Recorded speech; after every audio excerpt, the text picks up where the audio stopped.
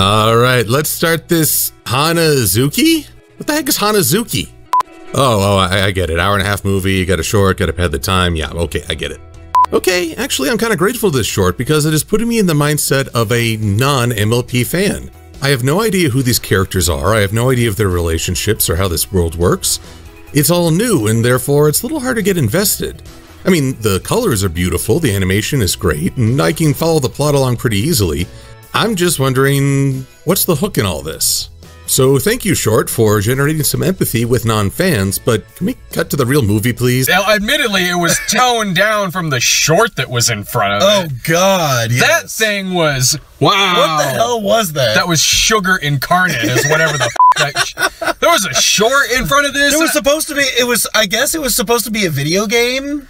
I have no idea, man. What that was, that was like a look inside the mind of a kid who's been stuffed with a dozen Snickers bars and force drank like a 12 pack of Jolt Cola.